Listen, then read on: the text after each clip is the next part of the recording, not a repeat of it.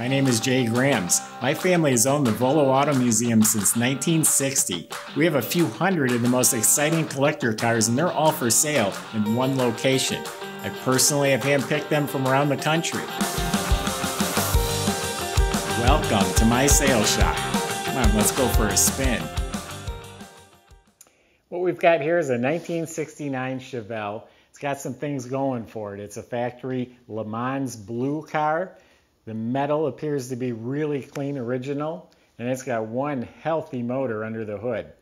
If you visit volocars.com, that's where you can read all the specs, get the price, and study about 100 pictures of not only this car, but we have a few hundred collector cars all for sale. So visit volocars.com.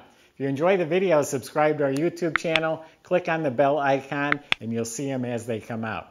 Right now, join me. Let's go for a spin in this 69 Chevelle SS. This is a little bit of a lie. It says 396. There's actually a healthy 454 under the hood that looks exactly the same as a 396, so they labeled it as such just so it looks like what it should be, but it's a 454, and wait till you hear it. Um, so I'm going to be honest with you, the car probably looks pristine on your screen. It's not a pristine, uh, high-end fit and finish car. What it is, though, appears to be a solid original car. I was just in the trunk. There's no splices or seams. These are the original quarter panels. Uh, Trunk floor is real clean, which we'll get to in a minute. And it's a factory 7171 paint code. That means it's Le Mans blue upper and lower. But there's dust in the paint. There's a little dimple here. It's not uh, rust. It's not uh, cracking. It's just, it was an inexpensive paint job. I didn't take the extra time to block and prep uh, the trim is original. There's dents in this molding. There's some scratches in the glass. A little bit of pitting on the door handle. Uh, the mirrors are new. Bumpers are re-chromed. Tail lights are new. It's got some really nice polished torque thrust wheels with BF Goodrich tires. They look new. Extra fat in the back. Uh, but the bottom is smooth. It's not rusty. It's all metal. It's all smooth along here. There's not a bubble down there. Uh, the weather strips are all good on the car. Windshield looks like it's clear. These are new. The SS stripes are painted on. The grill is good original. You got to stick around and wait until you hear this thing run. So it's a 454 motor, a Torker aluminum intake, big giant Holley that looks new, dual feed Holley with electric choke. It's got headers. It's got a high performance cam in it. So they do have a remote vacuum canister and a pump to make, make up for the lack of vacuum because of the cam that's in there. Uh, fuel pump looks new. Interior is good. Back seat's original and in really nice shape. Someone reupholstered the front seat. It's in a generic upholstery. Carpets look real nice. Door panels are nice. They're, you know fit good. Armrests are nice.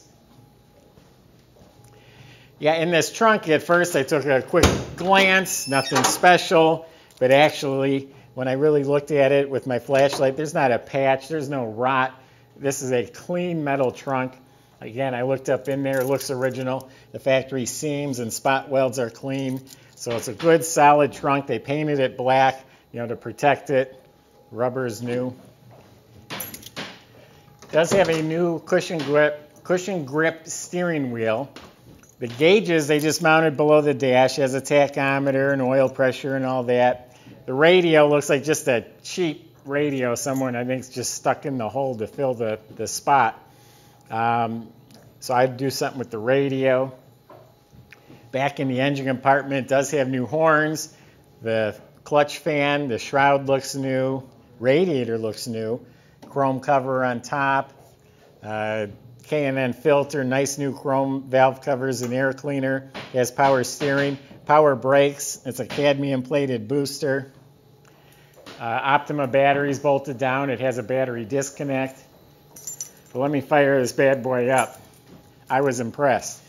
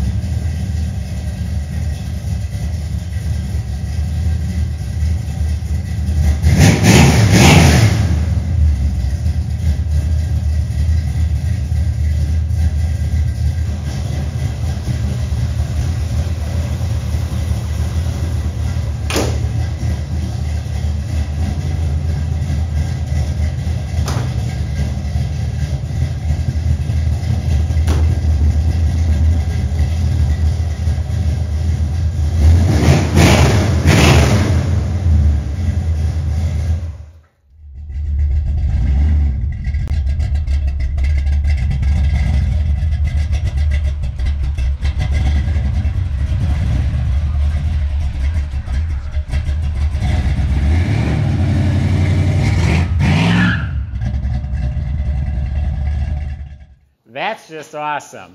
You hear how snappy it is? That idle is just awesome. Uh, strong running engine. Underneath, it's a TCI Turbo 400 trans with an aluminum uh, pan. It's got some new components in the front end. It's disc brakes in front. It has its original 12-bolt uh, rear end in the back. I think those are Flowmaster mufflers. I'm not 100% sure.